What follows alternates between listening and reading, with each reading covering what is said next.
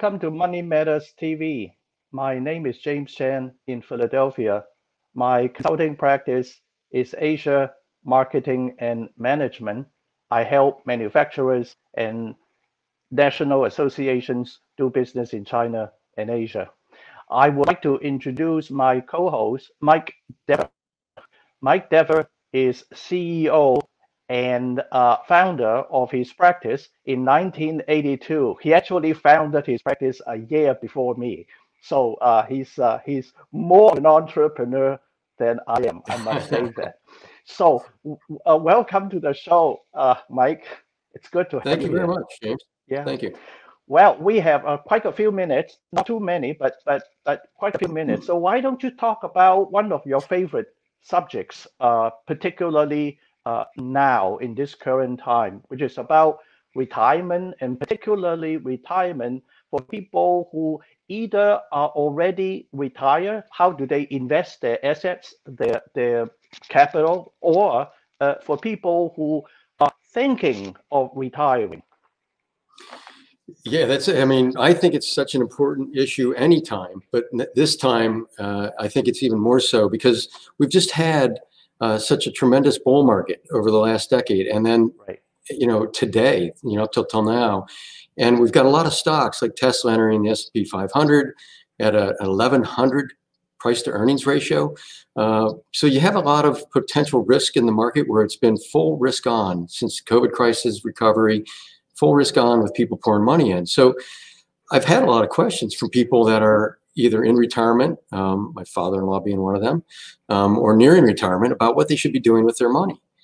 And and it's it's a really really great question because you want to try to preserve some some some income um, through your retirement years, but at the same time, when the market's as frothy as it is, you know you're going to be taking on a lot of risk. Alternatively, you, you have bonds that aren't yielding anything. Go ahead, James. Yeah, I, I, I sorry to, to interrupt you, but I just want to make a point clear here. Are you talking about people with assets who don't have a an an investment advisor and who are therefore well relying on themselves, their own skills to invest the assets? Is that what you are saying, or it doesn't matter?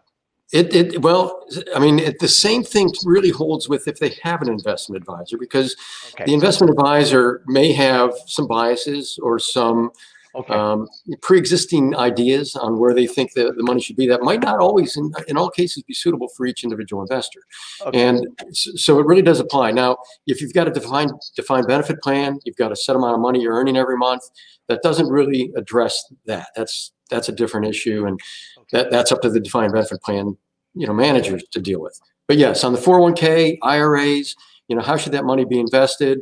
Um, you've got a big dilemma between whether you take the risk or you diversify more into bonds where you give up return.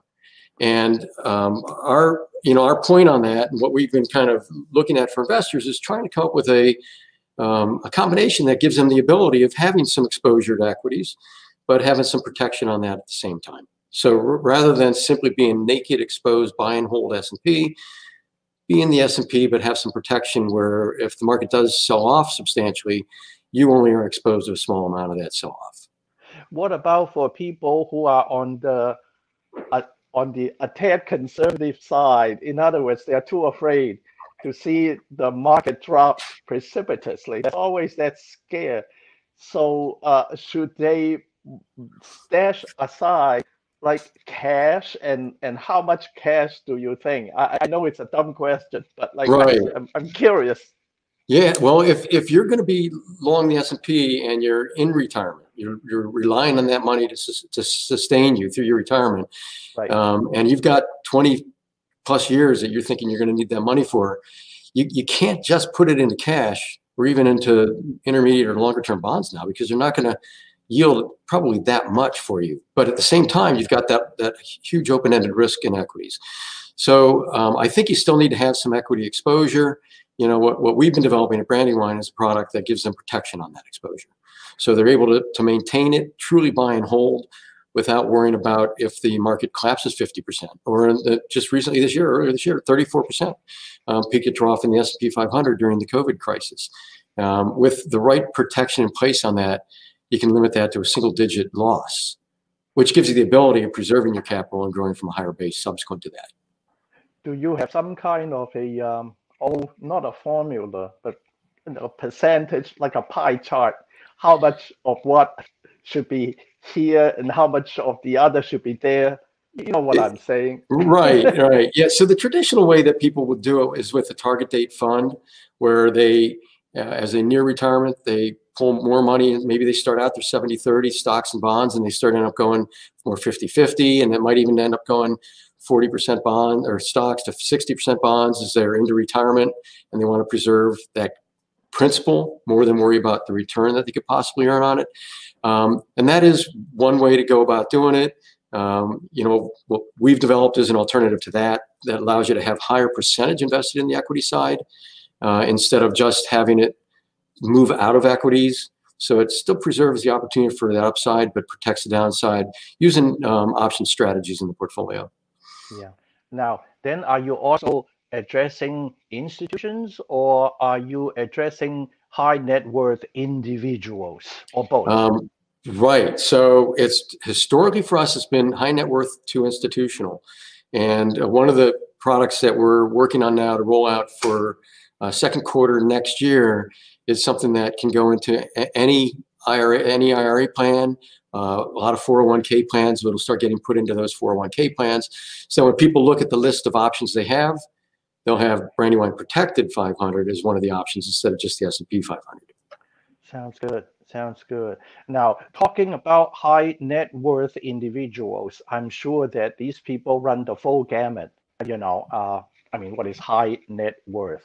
Are you talking about people with at least two million, or um, with at least five million, or or what? Right. So, for, so with our current product, it's two million up uh, okay. investable assets. You know, with the new product, it'll be you know, any it can be my son who just started his first full time job. Um, but as of now, yes, it's it's two million dollar portfolio in type investors on up. Yeah. I, I want to jump back to a very fundamental question. Why do you feel that there is an interest in kind of retirement strategies for for retired people or would-be retirees? Why? I think it's twofold. Right now, we have the, the, the big bulge going through with retirees. So we got the, the baby boomers. A lot of these people are retiring. So you're hitting a, a period where the retirees in relation to the overall population is growing, growing fairly substantially. And the second part of that is where traditionally they could move some of that money into bonds and get a five or 10% return on it. They can't do that today. You know, so there's a lot more questions that they have in retirement. It's not as simple as I'm going to take my money out of stocks, put it into bonds, and live off the income. It's hard to live off a 90 basis point income. Yeah, okay. Well, Mike, I know that you can go on because there's so much to talk about, but how about if you are to answer a question uh, from Money Matters TV uh, viewers? And the question is from Jack Thomas of Philadelphia, uh, which is what's a hedge fund and how does it work?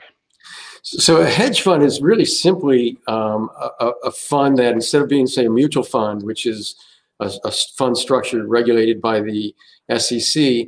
A hedge fund is it's it's got regulations, but it's not registered, and so it's because of that it's only available to higher net worth investors. Um, that does give a little more flexibility in how that fund can operate than a traditional mutual fund can operate. So it can actually include hedges in the portfolio to, to protect better against the downside. In a lot of cases, hedge funds are just leveraged long equity funds they're they're not really hedging at all necessarily. So you really need to look at the uh, the documents to understand what they're doing. Not all hedge funds, actually, a lot of them, majority maybe even, don't hedge. Do do just just a, short uh, Picayune question on hedge funds. People, high net worth individuals, if they happen to be managing their own money without either an institutional advisor or individual advisor, do they have to rely on an institution or someone else to to deal with the hedge fund or not? Can they, they, they do, right, they do not. They could go directly into the, uh, the hedge fund themselves. The difficulty is in finding those funds. Uh, they're because they aren't uh, publicly available. There aren't lists like there are with mutual funds. So that's why a lot of people get into hedge funds through an advisor that has access and knowledge of the funds. Well, thank you, Mike. Uh, Sure. How about right now we'll uh, we'll pause and for the viewers to know that here is how you send your questions to Money Matters TV. You can have your questions answered on Money Matters. Please go to our website, money-matterstv.com. On our homepage, click on the banner on the right that says Send us your questions. While you're on our website, you can find information about our host and guests, as well as show notes and links about this show and past shows. Money Matters is also available as a podcast on iTunes and Stitcher, so you can listen to Money Matters while you're on the go. That website address again is money, M O N E Y, dash matters, M A T T E R S, TV.com. Welcome back to Money Matters TV. My name is James Chan. I have a consulting practice which is called Asia Marketing and Management. I founded it in 1983. I'm still working at it. Um, and today, uh, I'm very happy to announce we have a very talented uh, person. Uh, I spoke with him. His name is Dr. He has a PhD, Dr. Vahan Janjigian. Uh, Vahan, are you there? I'm here. Can you hear me? Vahan, welcome to Money Matters TV again. You've been here before. Yes, I have. Thank you. Yeah. So now uh, I have uh, not only spoken with you, but I also look at your website, your company's website, uh, Greenwich Wealth Management. Can you tell people something about the firm? Uh, and and also, I understand you have been uh, the chief investment officer. So tell people what do you actually do? And of course, Mike, you can you can feel free to jump in at any time. Okay, Mike. Yeah. Um, so Greenwich Wealth Management was started in 2006 by Michael Freeberg, uh, who had a uh, background of uh, trading in both bonds and uh, commodities. And he started up an investment advisory. So Greenwich Wealth Management is an independent SEC registered investment advisory. We are uh, fiduciaries. Um, and we have primarily high net worth individuals as clients. Um, but we also have some clients that are um, a little bit a little bit smaller. Um, so we uh, we do have some clients that are a little bit smaller. We have a one million dollar minimum, but most of our clients are somewhere around the two to three million dollar range. Um, Okay. We invest primarily um, by using uh, individual stocks and ETFs. We create um, uh, portfolios for each individual based on their objectives and constraints, and we take their um, their ability to tolerate risk into into consideration. Um, we are a uh, several uh, investment advisors, all working under the uh, the same umbrella. Um, but the firm has approximately uh, 1.2 billion dollars under management right now. Oh, oh. Now, uh, I I may be jumping the gun. Uh, when we talked last time, you said that you have two books. Both of them are have, have very uh, uh, appealing or memorable titles. Would you like to talk about your books? Because they're Um, related. well, yeah, the first the first book I published is called "Even Buffett Isn't Perfect," um, and uh, the title was meant to be ironic, of course, because uh, uh, Warren Buffett is considered one of the greatest investors of all time, but even he admits that he has made some uh, investment mistakes. Um, and so I do point out uh, a couple of his investment mistakes, but my my bigger criticism uh, has to do with policy issues. Uh, for example, his views on corporate governance and uh, earnings guidance, um, his views on how stock options should be expensed, his views on taxes. Um, and I, I, really had no intention of writing this book, uh, but I had written several articles about uh, Warren Buffett for uh, Forbes magazine. And so the publishing company approached me and suggested that I write this book. So that, that's how that book came around. And then the second book is called the Forbes CFA Institute Investment Course. And it was a collaboration between um, Forbes uh, and the CFA Institute. So it's a uh, it's a primer on how to invest. It talks about the basics of investing. It's an excellent source for uh, beginning investors. Yeah. Now it's it's interesting. Uh, again, going back to our conversation, which I enjoy very much, that you you you actually are very skilled, very good at a number of things. You almost you kind of remind me as a Renaissance person. I mean, you were good at science and and uh, and, and and sports, and then suddenly you now became a, an investment uh, uh, officer. How how how did this kind of journey happen? Can you just in a nutshell tell people your your whole life experience maybe in one minute if you can manage? well, well, thanks for the compliment. I really appreciate that. Um, so yes, I, I was um, I grew up in Philadelphia. I moved to Southern Virginia to take a job at a manufacturing company. And while I was there, I got a truck driver's license and I also did a little bit of driving. I used to drive these 18 wheelers. That was a lot of fun. Um, and that was my first exposure to business. I was a science major in, in college. Um, right. The intention of possibly going to dental school, but I, I decided very quickly on that that wasn't for me. So uh, I loved business. I decided to get an MBA. I went to Virginia Tech because it was the local university. And uh-huh. while I was there, I was invited to stay on for a uh, PhD in finance.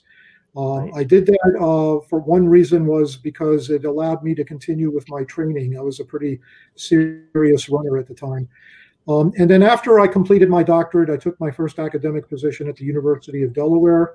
I um, I taught courses in uh, corporate finance and investments. And when I was in my last academic position at Boston College, I was approached by uh, Forbes, the publisher of Forbes magazine. Uh, mm-hmm. they asked me to be the editor of their investment newsletter. Mm-hmm. And so I, I, served as the editor for uh, for many years. Uh, my track record uh, turned out to be very good, and as, as a result, I had a number of people approach me and ask me to manage money for them which I couldn't do as an employee at Forbes. So I left Forbes in 2010 and joined uh, Greenwich Wealth Management uh, to uh, manage money for these people who had approached me. Yeah, uh, this is a fascinating story. But to me, one thing seems like a constant, which is, and I'm talking about entrepreneurship because I've been through myself. Uh, that, and I'm sure that Mike uh, may want to add to this that a, a an entrepreneur is somebody who is able to see a rising opportunity. Meaning, when I say rising, something comes up. People come to you and ask you to manage their money.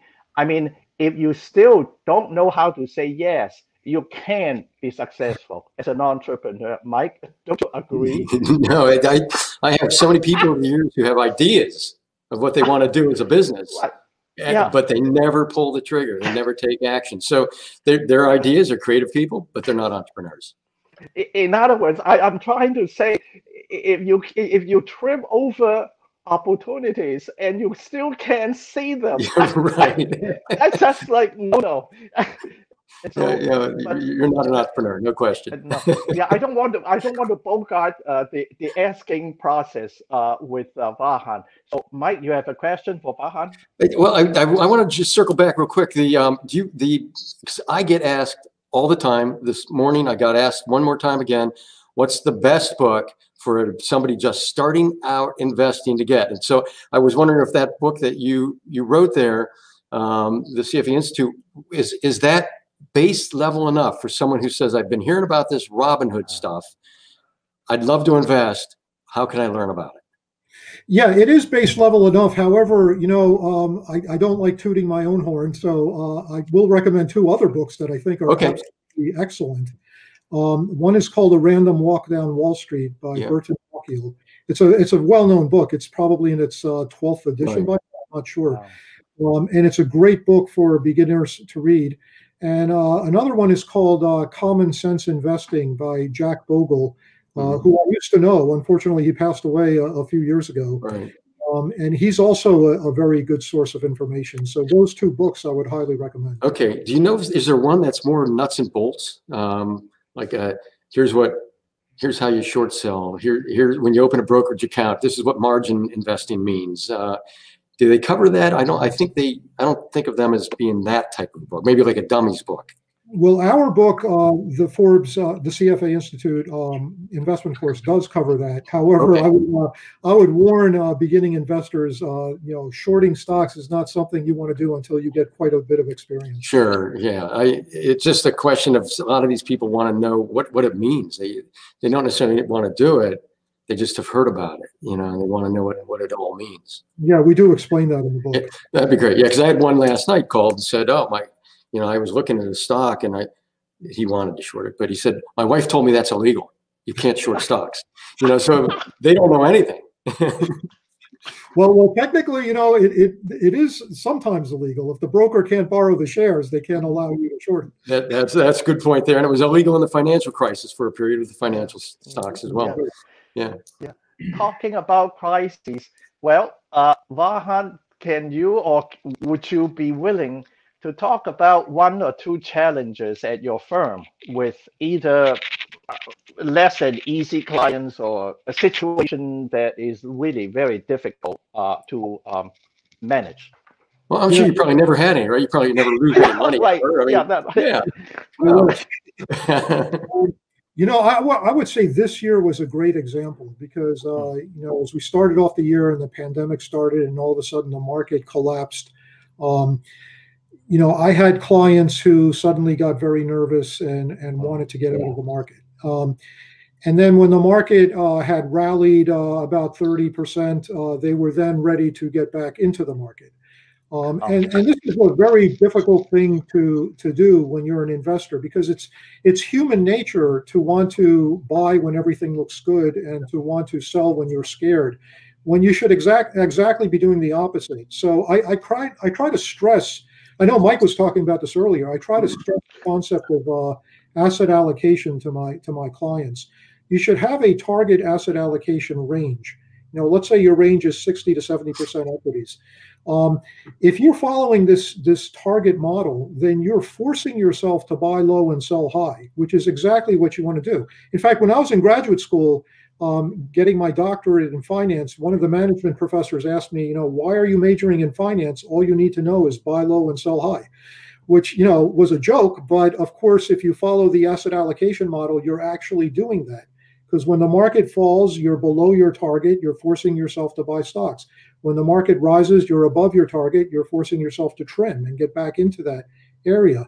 So it was very challenging this year uh, to try to convince some of my clients to not only stay in the market after that sell off in March, but to even add to their positions. Um, and now I'm having the opposite problem where I think it might be time to do some trimming. But of course, everybody sees the market going higher and they want to stay fully invested. Yeah, that's that. Um, you're right so much. I'm sorry, James, but I I wrote about Yeah. that. My third chapter of the book I wrote is all about the opposite, and I use in there the, the Seinfeld skit from the '90s where George was doing had the opposite of what he really wanted to do. But the point is that investors, when you look at all these studies, Morningstar or Dalbar, all the fund flows are exactly mistimed. You know, the, the mm-hmm. maximum flows come into these funds when they're at their peak and they're they're flowing out of them at their trough. And this is a consistent, consistent behavior that investors have. I mean, it goes back decades. Yeah, I was, I was, I was earlier trying to ask a question that looks like a trick question or or a cynical question, but but no, no, there is sincerity in my in my wanting to know why is self-control so difficult. Vaha, Well, or even takes- Mike, if you want to add to it later. Yeah. You know, as I- mentioned in uh, in the book, uh, even Buffett isn't perfect. Um, it takes a lot of intestinal fortitude to to buy stocks when everybody else is scared and they're selling. So it's it's very difficult to discipline yourself and, and make sure that you're doing what's in your best best interest in the long run, and not necessarily reacting to short term swings in the market. No, I, I agreed. I mean, it's it's easy to buy when everybody else is buying. Uh, it feels comfortable. Uh, we used to always joke when we'd go, you know, at, at, at skiing and there'd be a big line at one of the lifts. Oh, this must be the good lift. You know, it's, everybody seems to rush to the one lift when you've got one next to it that's empty. Um, it, it's just sort of a human nature. They want to be belong, be part of what other people are doing, and they're, they're more comfortable in that environment. Actually, I have one another question for the two of you, but first going to Vahan. Does it is it really true? Which I, I believe my answer is yes. That that people, uh, individuals, do need a good advisor because just in case self-control is wanting, then you um, need you know, the advisor to hold you down, to like, um, to kind of say, "There, there, don't panic." Yeah, I think I think you have a good point. I think a um, I think almost everybody could uh, benefit from an advisor, but people also need to learn uh, how to interact with their advisor. Um, oh. Mind that an advisor is not a stockbroker. You don't simply call up your advisor and say, "Buy this, buy that," or "Give me a good good hot stock to buy now." An advisor is focused more on things like uh, diversification, asset allocation, making investment decisions for you over over the long run. And so, if you're the kind of person who wants to call somebody um, regularly and uh, you know, tell them what you're thinking about the market and what you think you should buy or sell. Um, I would I would say, you know what, keep a little bit of your money on the side and, and do it yourself with that money. The money you give an advisor, just trust your advisor. He's the professional, he's making the decisions. And if you're not willing to do that, then then perhaps you should think twice about whether you should be using an advisor or not. That's a great point because people don't realize that investing is a full-time profession. And. I, I, I, can't tell you how many people I'll talk to that they'll spend more time trying to pick out the movie they're going to watch that night than what they're going to do with their retirement plan. I mean, it's it's really it's it's pretty amazing. Uh, they they don't know how to to invest it, so they're just sort of making whimsical decisions. I, I would call it. Right, right. You know, I always tell my clients that you know investing involves three pieces: asset allocation, diversification, and security selection. And security selection turns out to be the least important of those pieces. Mm-hmm. And people don't like to spend much time thinking about how much of their money should be in stocks or bonds or cash. They think it's a lot more fun to, you know, decide whether I should buy Tesla or Apple or what this week. Uh, and it is more fun, but uh, um, it's not in your best interest to focus on that over the long term. Well, I I think that we have maybe a minute or two. Uh, so how about Vahan, if there's something you want to uh, tell the viewers of Money Matters TV, uh, either about yourself or about your firm, what would that be, briefly? Um, gee, well, uh, uh, well, I guess I'll talk a little bit more about my firm. Uh, we are in Greenwich, Connecticut. Um, we have approximately 250 um, uh, accounts with uh, primarily individual high net worth clients. We do manage money for some institutions, uh, particularly uh, nonprofit organizations um, and uh, endowments. Um, we are a uh, what we stress all the time, and I think this is critical in the industry. We are an independent financial advisor, and because we are SEC registered, we are fiduciaries. We are required to do what's in the best interest of the client and not necessarily what's in the best interest for for us. Very good, Mike. Last word from you. Uh, have 15 seconds. The show. I, I, think I think I think some of the points that uh, Vahan made that were the, the most important is you know keep the emotions out of the investing process. If you can't do that yourself, have somebody do it for you. Um, it's a professional occupation. Don't don't toy around with it. This is wisdom. I absolutely agree. Uh, this has been a wonderful show. Uh, our next guest is going to be Maria Maccecchini. She has a PhD, and not only that, she is the CEO and founder of her company, Annovis Bio Inc. Thank you for watching Money Matters TV.